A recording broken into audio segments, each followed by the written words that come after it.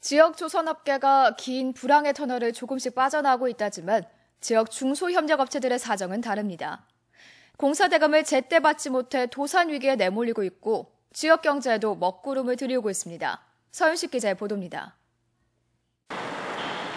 사천 지역의 SPP 조선 협력업체 100여 곳이 SPP 조선 본사에 밀린 공사 대금 지급을 호소하고 나섰습니다.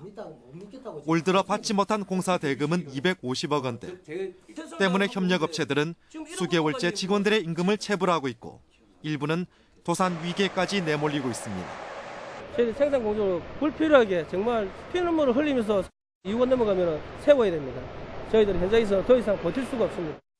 미국발 금융 위기와 세계 교역 물동량 감소, 그리고 선박 발주량 급감에 따른 저가 수주라는 악재 속에서 SPB 조선의 손실분은 올 들어서만 2천억 원에 이릅니다.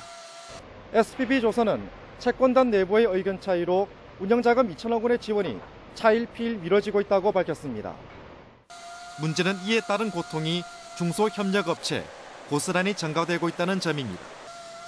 SPB 조선의 협력업체 직원은 5천여 명. 특히 이들이 임금마저 받지 못하자 지역 경제도 마냥 가라앉고 있습니다.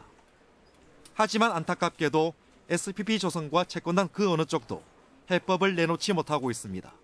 지금 회사 사정이 매우 힘든 관계로 어, 그러지 못한 점은 정말 죄송스럽게 생각합니다. 그런데 은행 간에 약간의 그 문제도 발생해서 심각한 조선업계의 불황 속에서 애꿎은 지역 중소업체들이 생사의 갈림길에 서 있습니다. MBC 뉴스 선식입니다.